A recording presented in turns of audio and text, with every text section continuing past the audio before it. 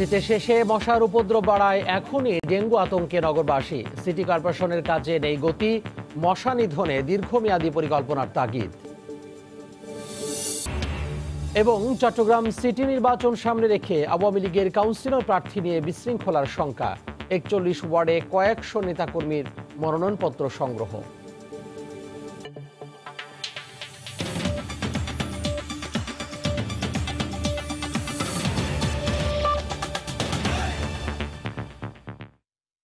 সময় সংবাদের সঙ্গে আছি আমি তোহা খান তামিম। শীতের শেষে মশার উপদ্রবে অতিষ্ঠ রাজধানীবাসী আসছে বর্ষা, উঁকি দিচ্ছে ডেঙ্গু আতঙ্ক। এরই মধ্যে মশার এমন উৎপাত ভাবিয়ে তুলছে নগরবাসীকে। মশা নিধনে বিভিন্ন কার্যক্রম চললেও পরিকল্পনার ঘাটতি দেখছেন বিশেষজ্ঞরা। রিপোর্ট রাশেদ বাপ্পির।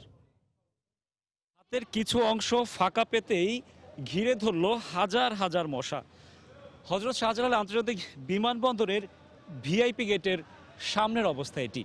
এই দৃশ্য দেখে কে বলবে, কিছুদিন আগে ডেঙ্গুর মতো বড় একটি বিপর্যয় কাটিয়ে উঠেছে নগরবাসী। এ যেন ঝাঁক বেঁধে পঙ্গপালের হামলা। মানুষের রক্তের ঘ্রাণে মুহূর্তেই হাজির লক্ষ লক্ষ মশা। অনাবৃত কোনো মানুষের দেহ থেকে সব রক্ত চুষে নিতে বুভুক্ষু এই মশক দলের হয়তো খুব বেশি সময় লাগার কথা নয়। মশার হুল থেকে নিস্তার নেই কয়েল জ্বালি এমনকি হাত পা ঢেকেও। ফাঁকা জায়গা তো এই জন্য মশা একটু বেশি লাগাই স্বাভাবিক। আর এখান থেকে অনেক ড্রেন আছে। কয়েলের কি অবস্থা? কয়েল দিয়ে কাম হয় না। কয়েলে মানে না। বহুত কাম পাচ্ছে হাতে পায়ে মশা কাম পায় মশা মারতে কম হয়নি কামান দাগা। প্রচলিত ওষুধ বদলে আনা হয়েছে নতুন ওষুধ। নেওয়া হয়েছে প্রতিবেশী দেশের অভিজ্ঞতাও। কিন্তু ডেঙ্গু মৌসুম কাটতেই যেন হাল ছেড়েছে নগর কর্তৃপক্ষ। বহাল তবিয়তে রয়ে যাওয়া মশার প্রজনন ক্ষেত্রগুলোই তার জ্বলন্ত প্রমাণ। মশা ঘরের মধ্যে বাইরে ডরা ডরে কালো ডর মধু করলে। বাচ্চা কাচ্চা বুড়া মানুষ সবারই সমস্যা। মশা তো সবারই সম- সমস্যা। একটা ডেঙ্গু আতঙ্ক সবাই আছে মনে করেন। সাপ্তাহিক একটা রুটিন থাকা দরকার যে এদিকে এভাবে এভাবে মশার ওষুধ দিবে বা এই সেই এরকম কোনো রুটিন আমরা যারা এলাকায় বাস করি তারা পাচ্ছি না। ওষুধ দেয় না তো ওষুধ দেয় না দেখে মশা। ওষুধ দিলে তার মশা হইতো না। বিশেষ মৌসুম ও বিশেষ মশা চিহ্নিত করে মশক নিধন সম্ভব নয় জানিয়ে নগরবিদরা বলছেন কার্যক্রম চালাতে হবে বছরব্যাপী সব মশাকে সমান গুরুত্ব দিয়ে। আমাদেরকে যদি ডেঙ্গু মুক্ত এবং মশা মুক্ত ঢাকা শহর করতে চাই তাহলে আমাকে একটানা চার পাঁচ বছর মশা মুক্ত করার জন্য চব্বিশ ঘণ্টা তিনশো পঁয়ষট্টি দিন এই প্রকল্প কাজে নিতে হবে। প্রত্যেকটা ওয়ার্ডকে আমরা ছয়টা ভাগে ভাগ করেছি। শনিবারে একটা ব্লককে কাজ করব এবং বৃহস্পতিবারে ছয় নম্বর ব্লকে শেষ করব। তো আমরা যদি এইভাবে কাজ করতে পারি এবং তাহলে কিন্তু অলিগলি কোনোটাই কিন্তু বাদ যাবে না। বাসাবাড়ি অফিস ও নির্মাণাধীন ভবনে জমে থাকা পানি পরিষ্কারেও সচেতন থাকার পরামর্শ বিশেষজ্ঞদের।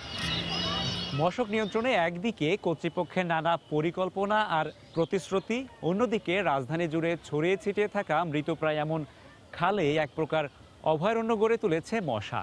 নগরবাসী বলছেন, ময়লার ভাগারে পরিণত হওয়া এসব খাল পরিষ্কার করে পানি প্রবাহ নিশ্চিত করা না গেলে বিফলে যাবে সকল আয়োজন। রাশেদ বাপ্পি, সময় সংবাদ, ঢাকা।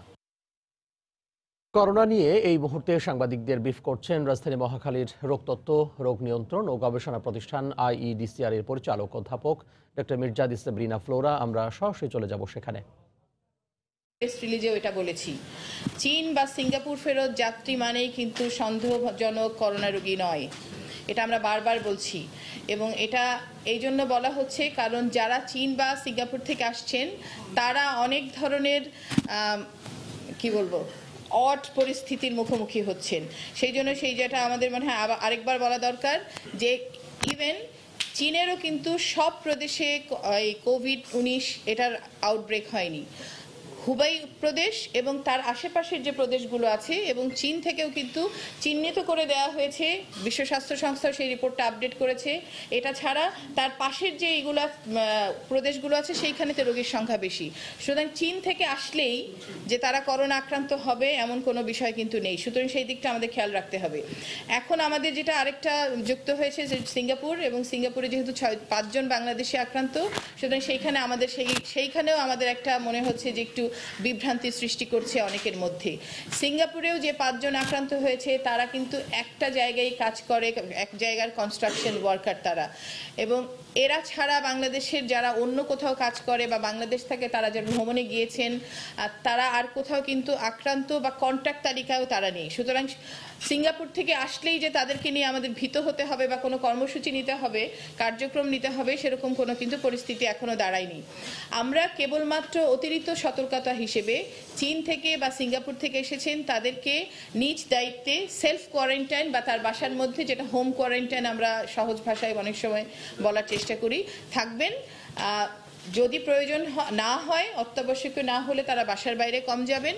জনসমাগম হয়, এরকম জায়গা এড়িয়ে চলবেন এবং যদি বাসার বাইরে যেতে হয়, মাস্ক ব্যবহার করবেন এবং হ্যান্ড স্যানিটাইজার অথবা বারবার সাবান দিয়ে হাত ধুয়ে ফেলবেন। এই সহজ বিষয়গুলো ওনারা মেনে চলবেন। তাহলে কিন্তু আমাদের এদের এদের থেকে আরেকজনের মধ্যে ছড়িয়ে পড়ার আশঙ্কা থাকবে না।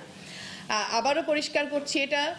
সিঙ্গাপুর থেকে বা চীন থেকে আসলেই তাকে হাসপাতালের আইসোলেশনে নেওয়ার কোনো প্রয়োজন নাই। এই কথাটা এই জন্য বলছি, আমরা অনেক ক্ষেত্রে দেখতে পাচ্ছি যে অন্যান্য বিভাগ, সংশ্লিষ্ট বিভাগ যাদের সহযোগিতায় স্বাস্থ্য মন্ত্রণালয় কাজ করে থাকে বা স্বাস্থ্য বিভাগ কাজ করে থাকে, তাদের, তারা অনেক ক্ষেত্রেই সিঙ্গাপুর থেকে এসেছে বা চীন থেকে এসেছে, তাদের বাড়িতে চলে যাচ্ছেন চলে গিয়ে তাদেরকে হাসপাতালে নিয়ে আসছেন। এবং সেই ক্ষেত্রে সামাজিকভাবেও একটা বিভ্রান্তির সৃষ্টি হচ্ছে এবং আমাদের দিক থেকেও আমরা দেখেছি যে তাদের অনেককে আসলে আইসোলেশনে নেওয়ার কোনো প্রয়োজন ছিল না।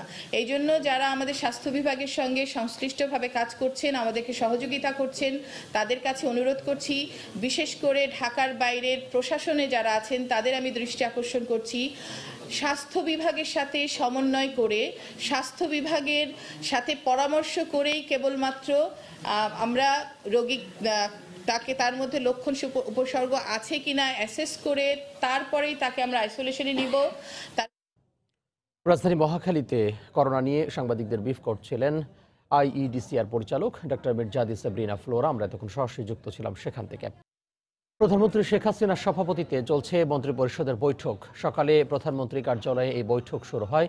বৈঠকে সড়ক পরিবহন ও সেতুমন্ত্রী ওবায়দুল কাদের, অর্থমন্ত্রী আহম মোস্তফা কামাল পরিকল্পনা মন্ত্রী এম এ মান্নান সহ উপস্থিত আছেন মন্ত্রিপরিষদের বেশিরভাগ সদস্য। আজকের বৈঠকে বেশ কিছু গুরুত্বপূর্ণ বিষয়ে সিদ্ধান্ত আসতে পারে। বৈঠক শেষে দুপুরে সচিবালয়ে মন্ত্রিপরিষদ সচিবের সাংবাদিকদের ব্রিফ করার কথা রয়েছে।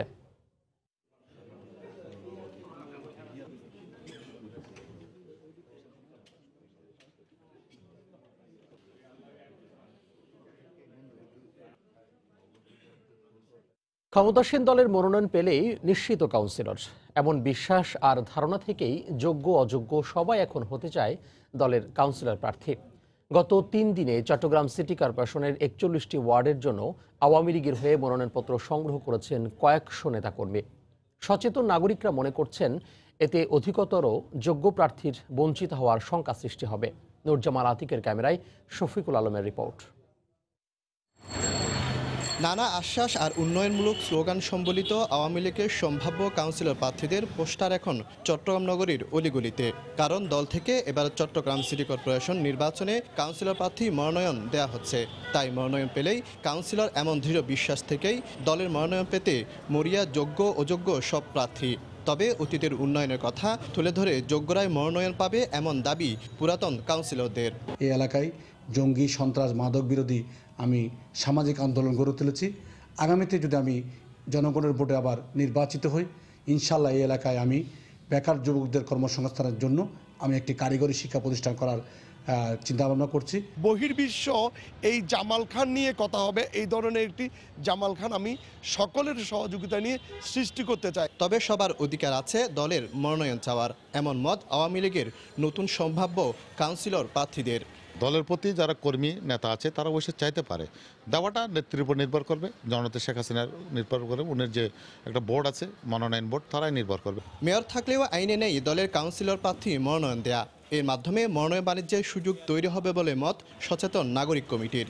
এখানে যেটা হবে যেহেতু একটা পারসেপশন আছে বিগত নির্বাচনগুলোকে দেখে সরকারি দলের মনোনয়ন পেলেই তিনি যেহেতু নির্বাচিত হয়ে যাবেন, এটা অনেকটা নিশ্চিত। প্রার্থীও মনে করেন, প্রার্থীর সঙ্গে এবং অন্যান্যরাও মনে করেন।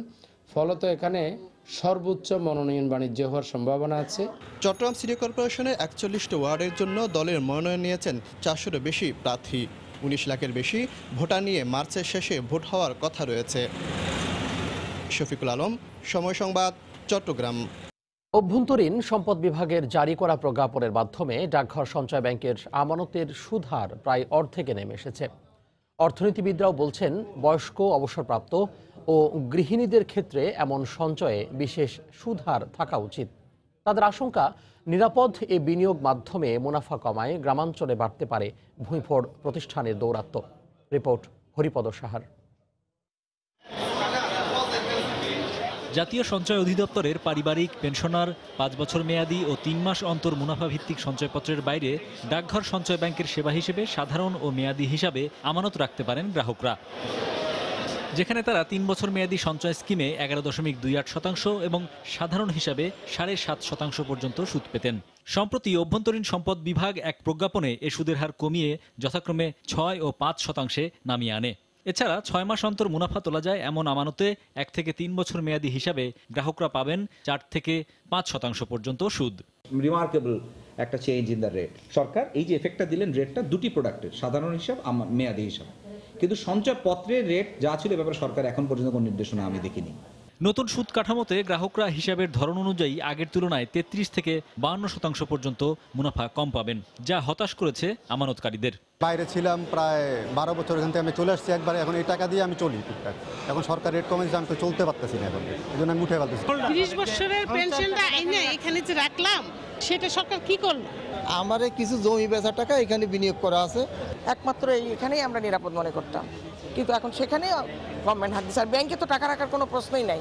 আর্থিক খাতে আমানতের সুধারে ভারসাম্য আনা প্রয়োজন কিন্তু বয়স্ক অবসরপ্রাপ্ত ও গৃহিণীদের সামাজিক সুরক্ষার বিষয়টিও সমানভাবে গুরুত্ব দেওয়ার পরামর্শ দেন এই অর্থনীতিবিদ। ডাকঘরে যে সঞ্চয়টা করছেন, সেটার সুদের হার যদি কমে, তাহলে কিন্তু দেখা যাবে যে ইনফর্মাল যেসব সুদ প্রদানকারী যেসব আয়োজন আছে গ্রামে, অনেক সময় দেখা যাচ্ছে যে সঞ্চয়টা নিয়ে কোনো ছোট ছোট সমিতি করে তারা কিন্তু অনেক সময় এটা আমানতকারীদেরকে প্রবঞ্চিত করেন, তাদের কাছে কিন্তু অর্থটা চলে যাবে। এই ক্ষেত্রে যেটা করা যেতে পারে যে যারা পেনশনিয়ান যারা সিনিয়র সিটিজেন্স এবং যে সকল নারীরা আসলে কর্মক্ষেত্রে নাই তাদের জন্য এই সুদের হারটা রাখা সম্ভব কিনা সেইটা সরকার আসলে বিবেচনা করতে পারেন। এদিকে সঞ্চয়পত্রে এক লাখ টাকার বেশি বিনিয়োগে টিআইএন বাধ্যতামূলক করার পাশাপাশি অনলাইন পদ্ধতি চালুর পর চলতি বছর বিক্রির গতি কমেছে উল্লেখযোগ্য হারে। হরিপদ সাহা সময় সংবাদ ঢাকা। এ পর্যায়ে শীর্ষ সংবাদগুলো জানিয়ে দিচ্ছি আরও একবার। শীতের শেষে মশার উপদ্রব বাড়ায় এখনই ডেঙ্গু আতঙ্কে নগরবাসী। সিটি কর্পোরেশনের কাছে নেই গতি, মশা নিধনে দীর্ঘমেয়াদী পরিকল্পনার তাকিদ এবং চট্টগ্রাম সিটি নির্বাচন সামনে রেখে আওয়ামী লীগের কাউন্সিলর প্রার্থী নিয়ে বিশৃঙ্খলার শঙ্কা। একচল্লিশ ওয়ার্ডে কয়েকশো নেতাকর্মীর মনোনয়নপত্র সংগ্রহ। এই ছিল এখনকার মতো। যে কোনো খবর পেতে ভিজিট করুন সময় নিউজ ডট টিভি আপনার মোবাইলে সময় সংবাদ দেখতে ও সব খবর পেতে ডাউনলোড করুন সময় অ্যাপ এছাড়া এইমাত্র পাওয়া খবর মোবাইল পেতে এসএমএস করুন স্টার্ট স্পেস বিএল লিখে পাঠিয়ে দিন one six two four two নম্বরে। আর সঙ্গে থাকুন সময়ের।